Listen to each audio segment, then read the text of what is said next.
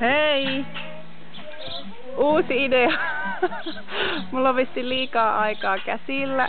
Kerta ajattelin, että vois laittaa tämmösen, että minkälaista meillä täällä on. Täällä Jumalan selän takana. Tomppa.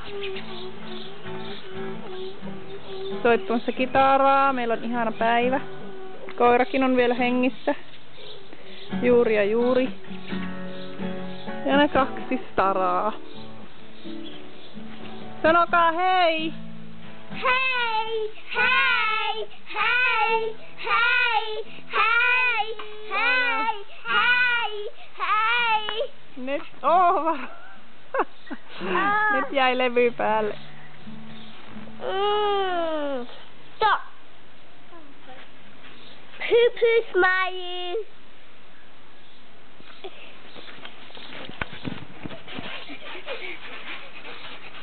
Näytäpä parhaat hypyt.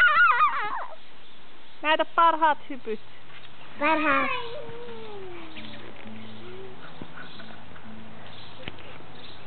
Parhaat. Ei varpaat, kun parhaat hypyt. Parhaat hypyt. Aa. Oh. Tuo ei ollut kyllä se.